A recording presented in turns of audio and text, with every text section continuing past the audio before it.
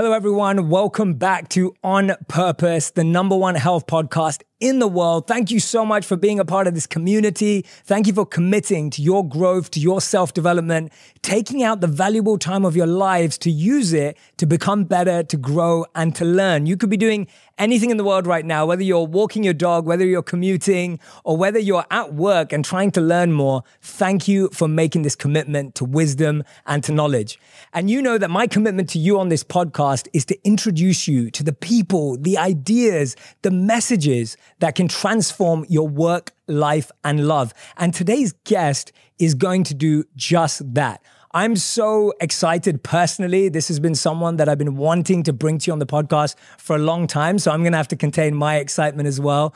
But he's an American billionaire investor, hedge fund manager, and philanthropist, and the author of this incredible book called principles. Now, I read this book when it first came out, and there were so many incredible insights of wisdom in there. And today I get to sit down with the one and only Ray Dalio. Ray, thank you so much for being here. Whoa, like I don't deserve all that, but back at you. Thank you. No, you're very kind. You're very kind. And I'm so grateful to have this opportunity with you because I truly believe that I'm so grateful. You said on the phone when we were speaking that there are these different stages of life.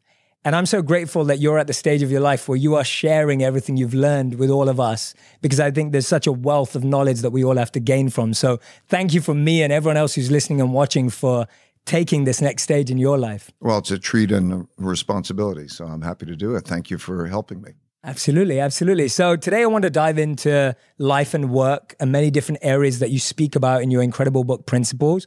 And the first thing I want to dive into is these stages of life you speak about. Because when you said that to me on the phone the other day, they really resonated. Why don't you guide the audience through those different stages and phases and how you see them changing our life? Well, I think there are, to simplify, there are three stages in your life. The first stage in your life is when you're learning and you're dependent on others. Go to school, come out, graduate from school. It's very different from the second phase of your life where you're working, others are dependent on you and you're trying to be successful. And that's uh, what larger your audience is uh, in in that early stages. Absolutely. so I'm so excited to speak to them. And that whole arc is totally different. Like on the first arc, first part of the life, you know, you pretty much follow a track you know what schools parents taking care of you whatever it is and then you what do you what decisions do you make? You hardly make any decisions. You make you know okay what college do you go to? If you go to college then you go to the college and you what major do you have? And then you come out to this world the second stage in which really the whole thing is wide open to you particularly if you don't go stay on a track and you realize that there's no instruction manual and you can go anywhere and you could do anything and then it's a very different phase. It's a more difficult phase. And that second phase then has an arc to it. And then um, somewhere in the vicinity of your last phase, um, that's the phase where you're free to live and free to die. And your preferences change. You change. Your relationships with others change. So that's the life arc that I'm referring to. And so I'm in the transition from the end of my second phase to the beginning of my third phase. And at that phase, I just want to pass along what I've learned to help people who are early in their second phase. Yeah, absolutely. And you're so right that that is the majority of people that are listening and watching right now. And for me, you brought something up really interesting there. One of the biggest things is we become paralyzed by choice and decisions because so much of that early phase is where things were decided for us, where choices were made for us. And I often feel we bring that mindset to the second phase where we're still looking for someone else to help tell us what to do and what decision to make and what's the right thing to do. How have you seen through your experiences, how have you dealt with choice and decision as that phase of life changes? Well, I think, first of all, one has to know their nature. Um, you might have to discover it. Uh, but your nature means do you have a sense of adventure? Do you seek security? Are you an extrovert, an introvert? Those types of things. So personal discovery is important. Um, I think that uh, who you're with and where you are is more important than what you do. Because in the early phase of that second phase, it's total discovery. So it's experimentation, you know, you went to India for three years, right? Yes. And and that but if you have that sense of adventure, to let go, you can discover. That's your opportunity. But discover yourself as well as to discover what the choices are like. Mm. And then as you move later into that, you'll feel the pulls. Um, and to feel never trapped. We were talking just before we began that so many people say, um, you know, I can't be that way because I, my job won't allow it, Mhm. uh, which is a silly concept because you have the freedom of those choices, even in when you have constraining uh, situations. So I think uh, that's the life arc. Enjoy this wide open choice. You can be anywhere in the world. You can do almost anything. Let go, experiment, and then move on. Absolutely. And did you feel that same freedom when you started as well, or do you feel it's changed now? Do you think there's in more my case, access? i- i- in my case, um, okay. In my case, uh, uh, when I was twelve, I got hooked on trading markets. So I, I loved that game. So I discovered it early, and then I, and then I wanted to. But I had this sense of adventure. I was very. I discovered when I went to work at a company that I. Uh, working at a company was not my thing. Uh, Mhm. I got fired. I punched my boss. I, I mean, I so uh, and I really then learned the f- freedom. Um, not I didn't have any idea that I was setting up a company. I just sort of said I can do these things. Probably like you, you discovered okay, I could do those things, and then one thing leads to another, and then you know uh, you build. And I always like uh, the variety. So I'm my nature is macro. So I like going all over the world, all different cultures, understanding how the world works. And so I found something that uh, clicked through that experimentation. yeah, and I But then there's ups and downs, right? Mm. Lots of ups and downs. So we need to talk about failure. Uh, you know how great failure is. Yeah, let's let's do that because I think when I'm hearing you say that, it's so refreshing. Because when I hear you saying, "Yeah, I had to figure it out and I was experimenting and testing and I didn't even know what I was building." I love hearing that because that's what my experience so far has been too, as opposed to like a very rigid strategic, not that there isn't strategy, of course there is, but something very rigid and planned. There is a lot of experimentation in that growth where failure is natural. Yeah. Uh, my son uh, in 2014 gave me a book, uh, Joseph Campbell, and it was called Hero of Us, a Thousand Faces. And it refers to the hero's journey. And this is like at the end of my experience. And I follow, found that that's very, very true. And so there's this cycle. So uh, a certain type of personality wants a taste for adventure. Mhm. You go out and have the adventure. And then there are the ups and downs. And then you crash. You will have a failure. If you're adventurous Mm. and you're pushing the limits, you will have a failure. And that failure is a tr- can be a transformative exper- experience. I have an uh, expression that pain plus reflection equals progress. Mm. So they call it the bed, uh, the abyss, and change, the learning of humility to maintain your aggressiveness, your audacity, and to simultaneously learn humility. And that happened to me. I was um, so I you, you described it. I was uh, I graduated uh, from school. I two years I worked on Wall Street for two years. I got fired from my job, and two years later I'm running my little company. Something like seven eight years after that, um, I made terrible mistakes in the markets. Um, I crashed, and I uh, lost everything. And I was so broke that I had to borrow $4,000 from my dad to help pay for my family expenses. And it was public publicly because I was on Wall Street Week and I made all those mistakes. And that was one of the most painful. Pain can be great because it changed my whole perspective to decision making. As I'm saying, it gave me the humility I needed to operate with my audacity. In other words, to simultaneously be bold and aggressive, and also to know that I could be careful. Four Sigmatic is a natural superfood company that specializes in mushroom based drinks that benefit our immunity, energy, and longevity and help us live healthier, more enhanced lives. Four Sigmatic makes a wide variety of blends, including mushroom coffee, mushroom elixirs, hot cacaos, matcha, and superfood blends. Four Sigmatic works with my always on the go lifestyle because it's so quick and easy. Just tear the packet and mix with hot water. This also makes it great for travel, which is so helpful for me. One of my favorites is the coffee with lion's mane. Lion's mane mushrooms have been used by Buddhist monks to help with focus during meditation. The coffee with lion's mane promotes productivity, creativity. It's coffee without the jitters. I was initially worried about the taste, but it tastes just like coffee, not like mushrooms. And it's made with 100% organic Arabica coffee beans. I like to add a little coconut milk to mine for a creamier texture. I have a special offer just for my audience right now. You can receive 15% of your Four Sigmatic purchase. Just go to foursigmatic.com forward slash purpose or use the discount code PURPOSE at checkout.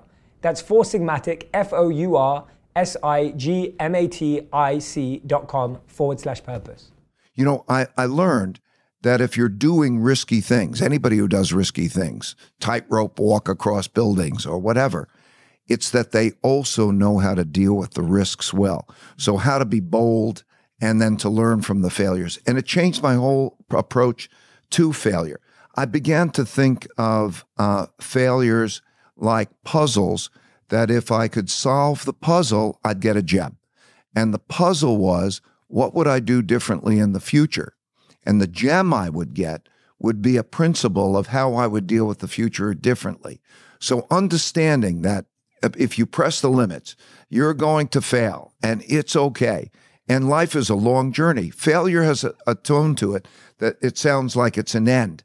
No, it's part of that process of learning and then making that uh, great advance. But the humility combined with the audacity was helpful because then I would go to try to find the smartest people I could find who disagreed with me. Mm, that in, independent yes. thinking. And I would also know how to deal with my risks better. So I kept my upside without losing my downside. So that's failure and pain.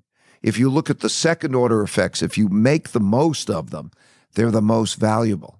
Absolutely. And I love that balance that you've just spoke about or that bringing of the two together of humility and audacity. I've never heard it like that before. And I, I really value that because I can see why humility is so powerful but not that that humility stops you from having that boldness and that courage. And almost like, how have you maintained that? Because I'm guessing that being at rock bottom, like having to borrow $4,000, can be very painful.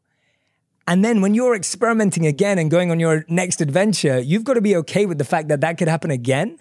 Or was that humility holding that back, having that happen again? I think the tightrope walker crossing the uh, building is is is the is the example, right? Yes. You you you fall and you fall hard. Now, some people won't get on the tightrope again. Yeah. some people will get on the tightrope again. Yes. And then they think, how do I do that? So, how do I be bold mm. and aggressive? And I pull it off. And it's the same way, right? Mm. You start to think, well, maybe I do this or that differently and I practice more. It's that combination of the caution and practice that allows you to take it to the limits that you never would have been able to take it to before. Mm. Right? Mm-hmm. I learned that. Once I learned that, everything changed wow. because I also would know how to take the hits. In other words, I don't mind getting banged but I don't want to get knocked out of the game. Yes. So the willingness to get banged but not knocked out of the game is a big part of that. Absolutely. Yeah, like a good fighter, right? Like you just giving that analogy for me. It's like sometimes a boxer or a fighter needs to know which punches to take in order to be able to drop a bigger punch. Uh, that's that's part of the game, and that's what you were saying about solving a puzzle. I love that analogy because I think if we see everything as puzzles, that there's a way of figuring it out, right? You know, there's an answer to a puzzle. Yes, I think the key is to think of reality as you're given. Reality is reality. Mm. And think of it as working like a machine. Mm. There are cause effect relationships that make the realities around you. Okay, now, if you go above yourself and you look at that, how does that machine work?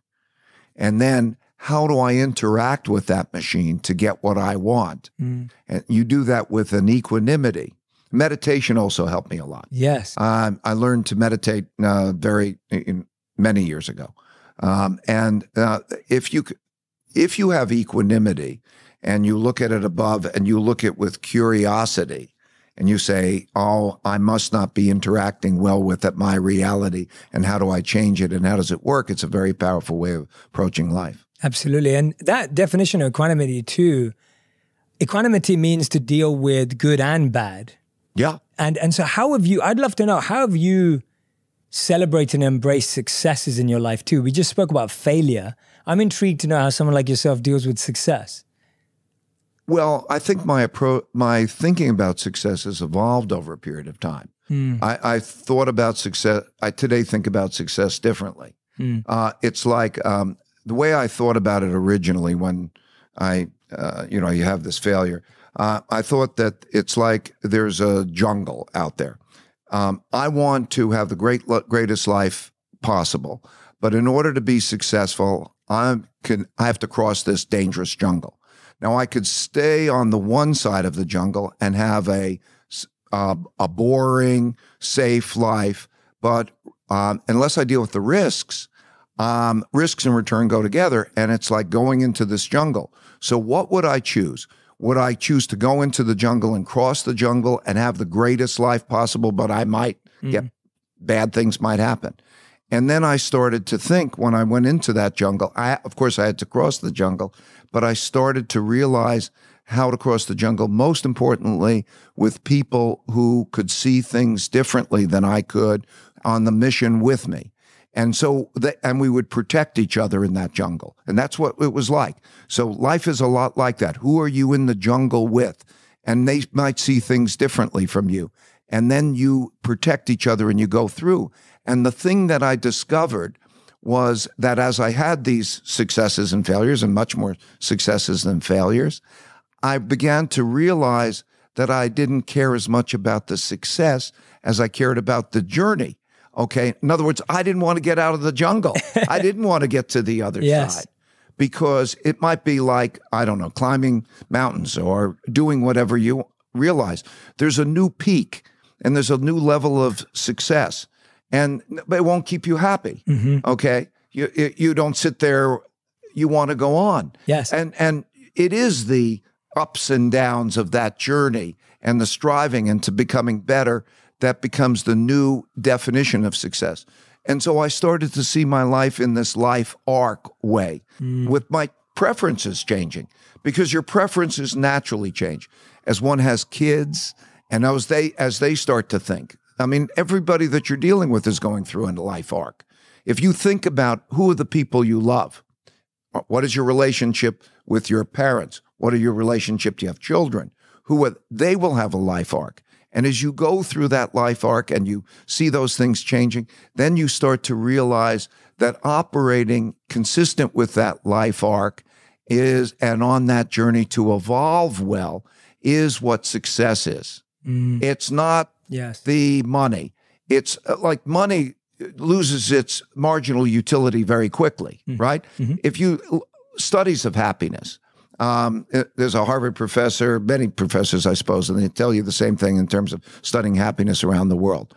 There's very little correlation between how much money you have and the level of happiness past the basic subsistence level.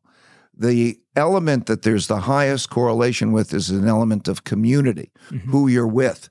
So it's this meaningful work. Are you on a mission and meaningful relationships through a life arc that evolves? So that's my definition of, an, of success is more like evolving well and contributing to evolution.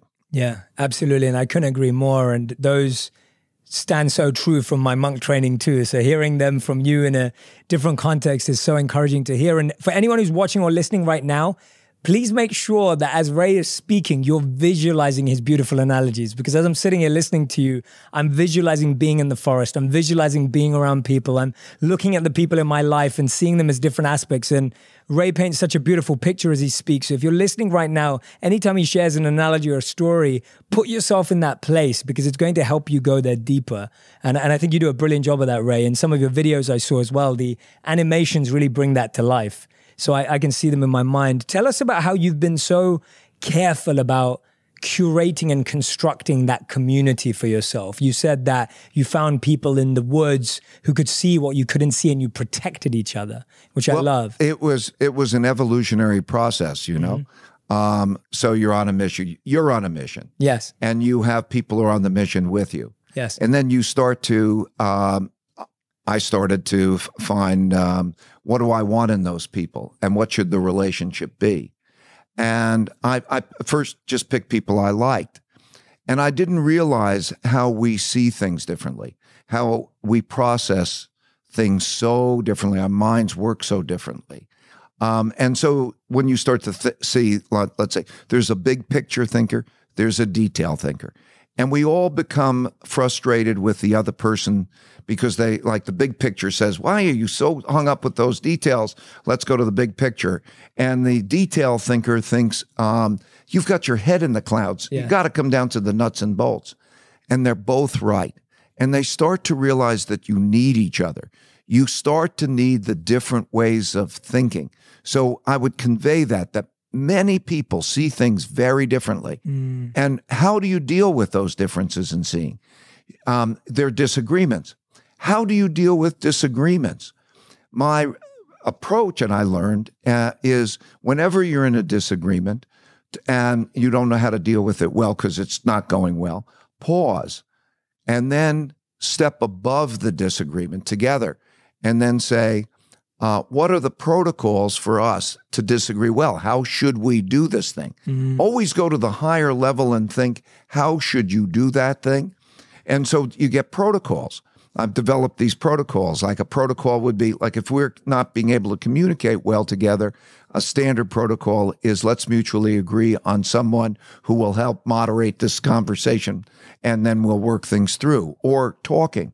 Um, how do I repeat what you're saying so that I I'm conveying that I understand. And you start to develop those types of protocols mm. and start to develop the appreciations of people seeing things differently. You discover also differences in values, uh, differences in the more the most core principles of how people should be with each other.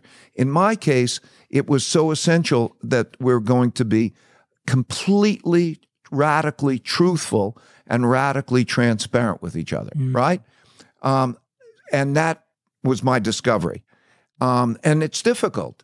But I've also learned that uh, many cases, the difficult things are only the first order consequences, they're difficult. The second order consequences is they're rewarding. Mm. And so by being able to have that radical truthfulness and that transparency to demonstrate that there's no spin, was a, a discovery. So there's an evolutionary arc. I would say, um, in my culture, mm-hmm. in my building a, an organization, a community that was uh, beneficial, I'll describe it in in one sentence. Yes, please. Long sentence. It's an idea meritocracy.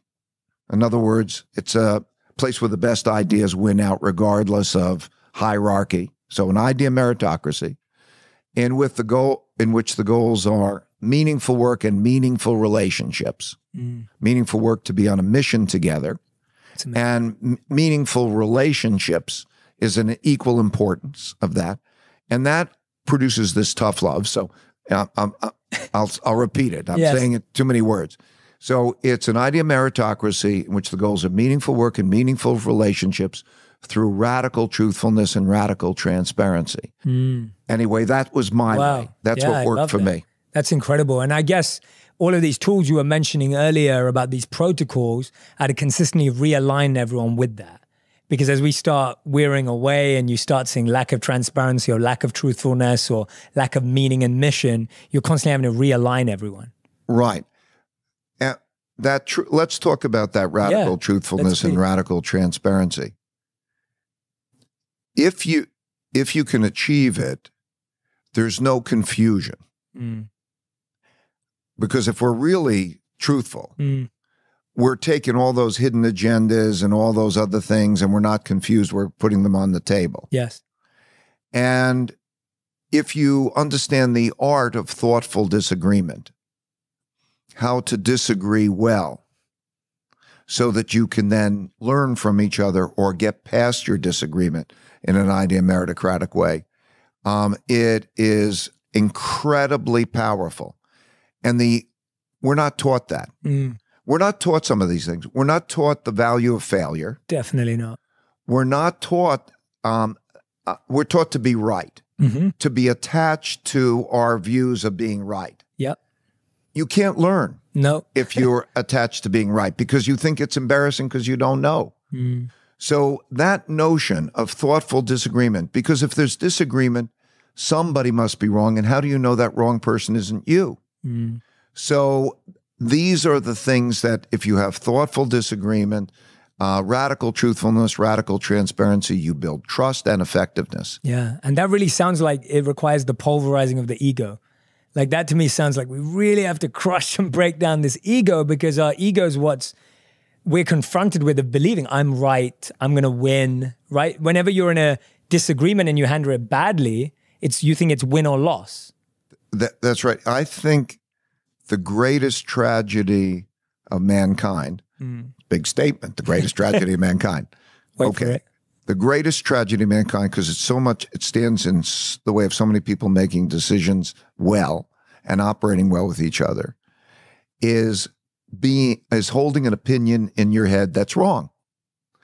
And it's such a tragedy, meaning it's so easily fixed So true. that all you have to do is put it out there and stress test it and say, I might be wrong. And how do I stress test it? And by stress testing it, you raise your probabilities of being right. So I think the education system rewards being right. So many things reward that being right that stands in the way of taking in all that's out there to really help you be right. Mm, I think that's such a powerful point. I'm just nodding away. If you're only listening, then I'm nodding away because when you say that, I think that's so true that all of our conditioned patterns are about being right. It's never been to understand things from different angles or perspectives, which is what reality is much more of than being right or wrong or black or white. And so much of our patterns in our mind are always win or loss, right or wrong, one or two. There's rarely this cohesive synergy that, that you're speaking about. That actually takes a lot more work to get to. the the great whatever success I've had in life has had more, much more, to do with my knowing how to deal with my not knowing hmm. than anything that I know, because what I don't know is vastly greater. Think about all the experts that you can turn to and all the perspectives that you can get and how much you can learn by being what's being out there. And that maximizes and it's a kick. Yeah, absolutely. Absolutely. One of the things, the other thing, which we've already dived into today, you called your book Principles. And I thought that that was quite a counterculture way of doing it in a good way. In a, in a, in a, and the reason I say that is today, so much of the language around business and work or entrepreneurship is around doing, it's around having, it's around grinding. It's, you know, these are the, the terms and the language that's used around business. Whereas you go back and you talk about principles. And on the phone, when we were speaking, you were talking about this differentiation between doing and then living a principled life. Just explain that to us and why you believe we have to start with principles. Um, I'm going to um, start by explaining how I learned it Yes, please. and what principled thinking is and how it's different Amazing. from other types of normal thinking. Most what most people Awesome. do, right? Yeah. Um, and there's also a suggestion I'd like to pass along to uh, those who are uh, listening. Um, what I found was uh, that whenever I would make an important decision, I would write down my criteria for making that decision because that situation would come along again. So I could be clear. It helped me clarify my thinking. And when the next time it came along, I would start to see how to deal with that and I could refine my principles. So the book is a compendium of these principles that I wrote over 25 years on that situation. It changed my way of thinking and it also changed my way of interacting because then I would see everything as another one of those hmm. rather than be in the blizzard of these bits and pieces of things coming at me. I would start to think, oh, it's one of those. Yes. And I would then operate as what was my principle. And those principles became like um, in, uh, internalized. So think of it almost like um, a batter um, batting against a pitcher who sometimes throws curveballs, sometimes throws fastballs, sometimes throws sliders. And if you do that over a period of time, you begin to learn, oh, that's a fastball. And then you start to think, okay, the fastball, I operate this. And you start to internalize.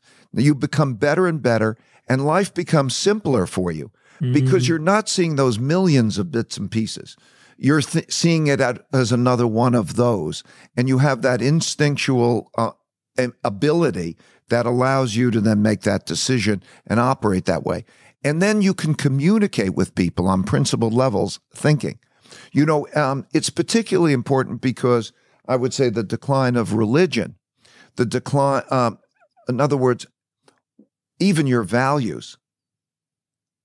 You have to think what is your religion? If you chose a religion, and it's not a preconditioned religion, what are your values? What are your principles? How do you think life really works?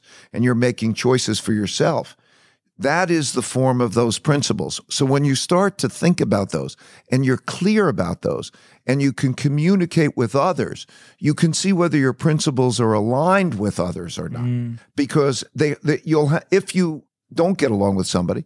And those irreconcilable differences are due to the fact that there are deep differences in principles, not differences in interpretations of things and so on. It's like any great relationship. There'll be arguments along the way, but it is those core beliefs. And by being clear about them, clear to yourself and clear to others, it's very powerful. Yeah, absolutely. I couldn't agree more. It just makes it so much more simpler to navigate because you're so right that when you don't have that clarity, all you're being attacked with is so much noise. And there's just so many millions of different pieces of noise that are coming at you that you haven't filtered, you haven't clarified, you haven't carefully selected. And that's why we feel so overwhelmed today. We're drowning in all of that noise. Because and what for? Exactly. Where are you going? Mm-hmm. What for? What are you seeking to fulfill? What is it in you?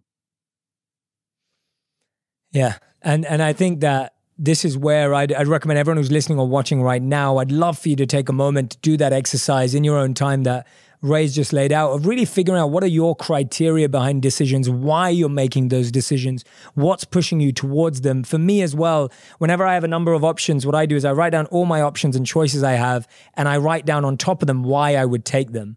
And often my why for something would be just pride or ego, and often above one of them it will be love and depth and values. Well, here's the exercise. You're talking about the writing down. Yes. Okay. I'm saying the writing down.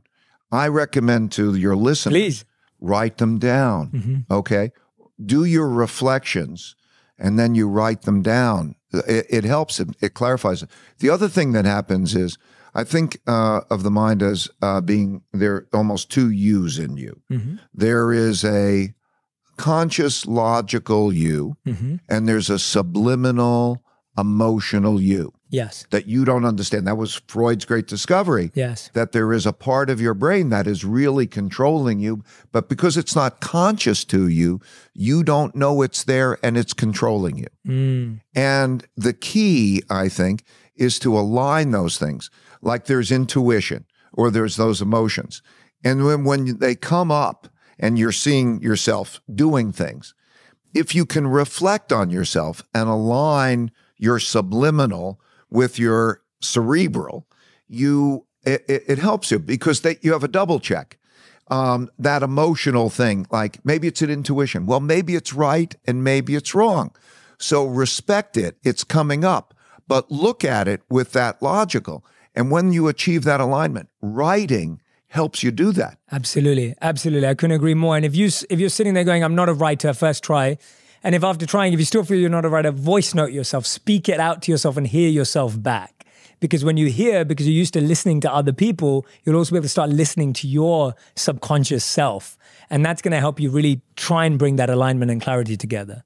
And so. then you'll start to see that there's a, a, limited number, maybe a few hundred, maybe a couple hundred circumstances or whatever. You're going to start to see everything happens over and over again. You're going to understand each, yourself better who it's very wonderful. Absolutely. I love that. In one of these principles, you talk about this scale of savoring the experience, savoring life, and then making an impact. And I wanted to know how you reconcile the two and and how you've seen them grow well, I, together. th- and, I, I, I think the big choice in life, there are a lot of big choices in life, but is um, accomplishment versus savoring life. Mm. Okay. Mm, So, you know, savoring life is uh, smell the roses and what a beautiful day, or that moment, make sure you uh, time with the people that you love and all of that. And then there's the other, which is accomplishment and impact, mm, right? So there is those kinds of choices. And you have to discover yourself well. Where are you and how do you deal with those types of things? I think to be most effective is where they align. right, Okay. That's what that's that's I think the key. right. Like to to make your work your passion one and the same, Mhm, right? mhm. That kind of thing. Yes. So um, that that's that's I think that's the best. Yeah. Okay, your accomplishment. If you're passionate, and, and then you can maybe have those things align. But that's that's the choice in life, right? Mm. And you could see that in different cultures. Yes. Yeah. And today we see a lot of, today with all of the generations that we're in and seeing in work right now, there's a desire to have it all.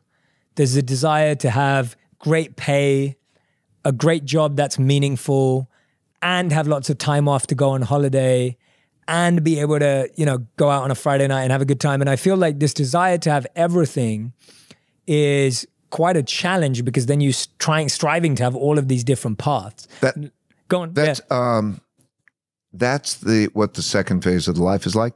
First phase of the life is, you know, you learn, and really it's generally a lot of fun. Mhm. And also, by the way, you think you can conquer the universe, and it's then you come to this other phase where it's all open and so on. And what you find out is there are too many things to do. Mhm. You don't have enough time. Okay, you don't have enough time for each one of those things. And so the question is, how do you deal with that? Mhm. Well, there are two pa- ways you can deal with it. You can, of course, prioritize, and you need to do that. But the real way, most importantly, is to know how to get the most out of an hour. In other words, you can put more life into life if you know how to get leverage and if you know how to be as as effective. Because if you get more out of each hour, Mhm. wow, then you it's like more life within those con- constrained number of hours. Absolutely, absolutely. I've I've always described that for me as time management versus energy management. And for me, if I can bring all my energy into one hour, that's more powerful than me having ten hours of- Right. of, half the energy. And in but- but in addition, Mm-hmm. there are techniques, Right. right? Love Um, to hear some. Well, um, like for example, I learned um, leverage through other people. hmm Um, once you learn leverage, uh, in my particular case, of course, I built up to this. Uh, um, I have about 30 direct reports. And what it means is, it, it- now this is after years of, Sure. of doing, I, I had nothing, by the way. Um, but what I can do is, and, and with the good relationships and how that works, basically they can typically work for about 50 hours on something that I'm trying to accomplish for every hour that I deal with them. Right. So I get an enormous amount of leverage, hmm or I know how to prioritize, hmm or I know how to break my schedule, knowing uh, I mentioned meditation or other things to get myself the clarity. Yeah. So uh, there are very many, many techniques. I wrote a bunch of them in the books, and many other people have other techniques too. Yeah. But as you start to realize that you can have much more life by knowing these various types of techniques. Yeah. I'd love to know some of your ta- uh, tips and techniques around prioritization. I think that's something that people are so challenged with right now. What have been some of your best principles or rules around how to prioritize something? Um, I don't want um, I don't want to give people my priorities, but I do want to give them the notion of to go above it. hmm Okay, like the same rule. If you're in a disagreement, you go Mhm. above it. Okay, so many people are in the blizzard hmm of all these things coming at them, and they're in it and they're trying to deal with every one of those.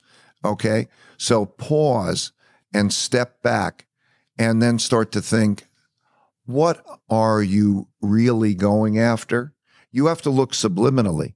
It may be deep seated in your childhood. It may be, but what is that pull? Okay. And that, that becomes, and then how do you apportion it? Um, you do need a plan. Mm. You, you need some sort of uh, self discipline as you look down and you say, well, I'm going to spend dinners with my kids or I'm going to do X, Y, Z uh, in terms of those to dos. But at the highest level, you're saying, what do I want? What are my choices? Because you have to realize. And then what I find is um, if you pause and you do that slowly over time, mm. don't just try to do it in a minute. You can find that you can have a lot of your cake and eat it too. right? I used to take my kids on my business trips. Um, what a great education. Wow. I, Some crazy. I, I, it's an example that sometimes you discover with time that you can have your cake and eat it too, mm. right? Yeah. So take the time. Mm-hmm. Yeah, patience. Patience is. I think that there there's five steps to success. Mm-hmm. First is you have to know your goals. You have to know what you're going out there, and that does require prioritization. The second is on your way to your goals, you're going to encounter your problems, mm-hmm. your failures, your problems. So that's step two encounter them. They're standing in your way. Number three is you have to diagnose those to the root cause. What is producing your problems? At the root. At the root cause. And that may be that you, or it may be those around you who are not good at things or whatever, or you're doing something you need to do better. Mm-hmm. Or it may be that you're in the wrong place. But you have to get at the root cause to do that diagnosis. Once you know the specific thing that's standing in your way, that personal discovery process, you have to go to the fourth step. And that fourth step is to design a way to get around them. Yeah. If it may be, for example, that if you have a particular weakness, work with somebody who is strong where you're weak. Or it may be a change your job or whatever it is, but you've got to get around that specific thing mm-hmm. that you've diagnosed as standing in your way. And then when you have a design, you have to do it. Mm-hmm. A lot of people come up with designs, but they don't push through and do it. And I think life is just the constant five step process over and over and over again. Yeah. Because if you're if you can do those five things, you will be successful. You'll evolve fair quickly. Yeah, absolutely, absolutely. And you add two methods or keys to succeeding, which you call flexibility and self accountability. Because within that, within those five steps, there's going to need to be a bit of flexibility or a lot of flexibility and self accountability. And I love you. You pointed this out. You said, "Don't blame bad outcomes on anyone but yourself," which is like huge self accountability. Yeah, I really do believe. I, I give you a mindset. I do believe that I can do anything, mm-hmm. and that it is just a matter of my character and my creativity. Mm-hmm. So that it is a personal test of me. It may be difficult, and I have to be creative enough and maybe with the help of others. And that is largely true. Mm-hmm. Really, if you're creative enough with, and you don't have to do it yourself, you can get the ideas from other people, and then you are enough character in it yes. to do it. Wow. Absolutely. And I think and I think that's the biggest challenge that we try and do it all on our own. We think we have to be everything. We think we have to be the face and the background and the side and and everything in between. And actually collaboration, coming together with other people is so much more what has brought success in the world. Yes. When you start to realize that actually you can't see, mm. it's like going from two dimensions to three dimensions or black and white to color. That when you start to see things through others' eyes, you can see the world in a totally different, much richer way, and you know how to navigate it it's a, it's such a power, such a gift. Yeah, it's amazing. Thank you so much, Ray. Ray, this has been Such an incredible experience diving in with you. Anyone who's listening and watching, I hope you've been taking notes. I hope you stopped and did certain activities when Ray and I spoke about them. And Ray, we finish every interview with a final five, which is our final five quick fire round, rapid fire round. So these are answers that are one word to one sentence maximum. So I'm going to start with the first one. Uh, what's one trait you look for in a potential employee? Character. Character. Amazing. Okay, great. Number two, uh, what is one trait you possess that you believe you got to where you are today? One of your traits. Um, fear, uh, humility, f- fear and acceptance of failing. Wow. I love that answer. That's awesome. I was not expecting that. It's a great answer. Sorry, I'm, I'm going off the tangent now because I. Yeah, I, I would but you can explain that. I love that. For, and, a, and, a, and a taste for adventure because the joy yeah. of the adventure uh, it makes the makes it all worthwhile. And I've come to appreciate the pain. Yeah.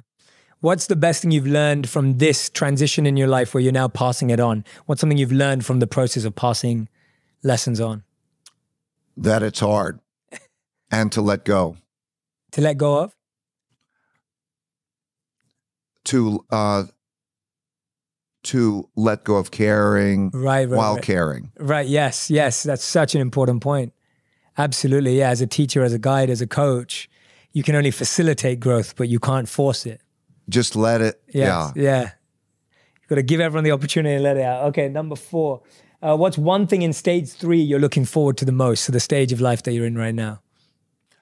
Well, as Joseph Campbell said, um, to be free to live and free to die. I think that you're in an arc mm. in which um, you gain freedom, mm. total freedom, no obligation. The greatest enjoy now is no obligation. Yeah, I'm free. Yeah, amazing. And to and and I and to watch others be successful without me. Mm. That is the greatest joy to watch others to be successful without me. I'm free and they are successful without me. Wow. Amazing. Well, you wrote this book over a number of principles. And the fifth and final question is what's a principle that you've learned this year or that you're currently trying to learn or learning or testing this year? Well, this is my uh, this is my transition year. Um, I guess uh, what I've learned, uh, I've been so pleased to have the interactions with people who are learning. Um, I don't know if it's a principle, it's not a principle, but it's um, an experience that the interactions that I'm having on social media, the conversations, so many nice people. And, um, and the exchanges have just been so beautiful. I think that was my main discovery um, as I'm also going through my evolutionary process of uh, that I described. I absolutely love that. That's amazing, Ray. You're absolutely incredible. If anyone loved the conversation today, make sure you go and grab a copy of Principles by Ray Dalio if you haven't already. If you have read the book, which I know many of you are very excited, we were going to have Ray on the podcast. Uh, go ahead and follow him on social media and across all the other channels if you don't already. Ray, is there a particular channel that you would prefer everyone to go follow you on? Is there or every their, Facebook, there's Instagram, there's YouTube. Go ahead and follow Ray across all the channels. Thank you so much for listening. Make sure you grab a copy of the book. Today we just literally scratched the surface of all the incredible principles I, that are I, would like to add one thing. Sure, please. I put the book and um, and also video case studies and yep. everything in a free app. Mm-hmm. So if so, you don't have to buy a book. You can get the book. It's on the uh, iOS Apple uh, store. It's a free download and it has videos. Oh, I didn't know that. So that's on. cool. I free. Yeah. Oh, that's awesome. So it, you the book is great if you like books, but you also have this other video which is a, a live. Uh, you might like that. That's awesome. And there's so many great episodes that I've been watching on Ray's social channels as well that really break down and visualize these principles for you to check out. Thank you so much for being a subscriber to On Purpose. Rate and review this podcast. And most importantly, share what you learned. There were so many great insights from Ray today, so many great moments of wisdom and principles. Extract them, share them on Twitter on Instagram, on YouTube, on Facebook, and I'll share my favorite ones as well. Make sure you tag Ray and I in those messages, and we can't wait to see you again next week. Thank you so much. Thanks, Ray. Thank you. Thank you so much. So great. grateful. Yeah. Thank you. Thank you. I hope that. that was good for you. Thank you so much.